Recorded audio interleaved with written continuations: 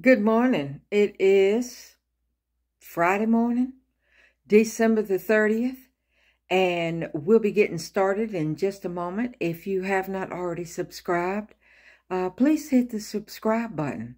If you have subscribed, thank you. Uh, if you like my videos, give me a thumbs up, comment down below. Let me know what you like and what you don't make suggestions for the content, give me feedback, what I could do, how I could do things differently or do them better.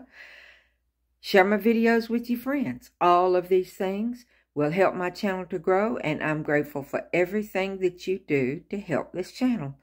Let's get right to our reading. Let's get started on this beautiful morning. We have the mental focus is the Six of Cups, it is childhood memories, lessons learned, and reminding us to seek joy and happiness. And our overall energy says phrases, motivation, never give up. And this is a reminder to incorporate positive affirmations into our life.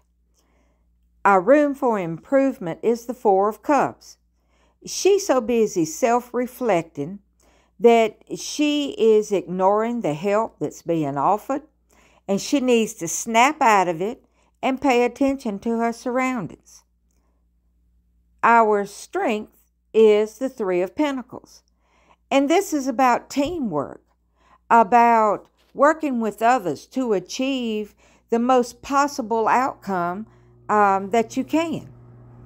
And that leads us to our outcome which is the Sun card. And the Sun card is bright and joyful and connected, and it's just pure happiness. And it's enjoy the day. Remember that this is one present moment in time. And so, um, you know, have those positive affirmations. Never give up. Um,